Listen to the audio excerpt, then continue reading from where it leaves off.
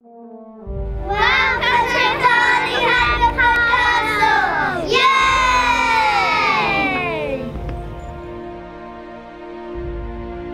We're at Farleigh Hungerford Castle. It's a medieval castle just on the edge of Somerset. And this morning we've been with the year, class, year one class from St Benedict's and just having a look around the castle and finding out about things like when the castle was built, about features of the building and who used to live here and what kind of things they used to do at the castle. We, we really encourage outdoor learning, learning outside the classroom, an opportunity to get outside and also particularly for local schools to find out more about their local heritage and history and what's on their doorstep. And at places like Farleigh Hungerford Hungerford Castle, we can offer um, some great hands-on learning experiences like, like we've done with the Discovery visit this morning. Looking around, do you think it looks quite old or quite new? Quite old. It does look quite old, doesn't it? How old do you think it is?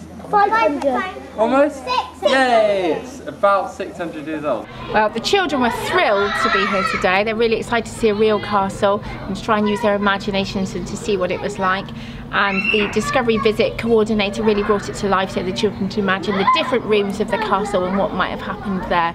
We try to make things interesting for the children, but when they see you day in, day out, it's kind of like same old, same old. But when you've got somebody who knows the place back of their hand, they know all the interesting stories, they know the ins and outs, they just really bring it to life for the children. Somebody new to look at, somebody new to listen to. A discovery visit's special because you're showing them around and you're part of the castle so they know that, that you're, you're the person who knows things about it and um, they can ask you questions that the teacher might not be able to answer. And um, yeah it's really fun to just show them around and, and, tell them everything because there's lots here that you might not realise um, mainly the great stories of loads of horrible murders and things that have happened that we can tell them about and they love it. So it's great yeah. The best thing for me um, looking around the castle and dressing up.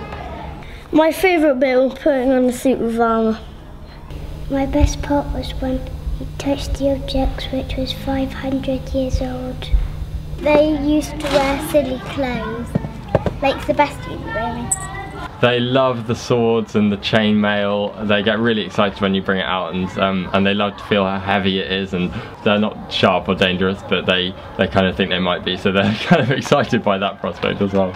I just do a knight but it's sometimes it, it was heavy a little bit but I still like it this is a fantastic place to visit and if you're lucky enough to visit it on a beautiful day like we are today then even better. Um, but we came last year in the rain and even with the rain it didn't make any difference because the discovery visit was such a fantastic introduction for the children that we still had a fabulous day anyway. So yes I would definitely recommend it to any teachers.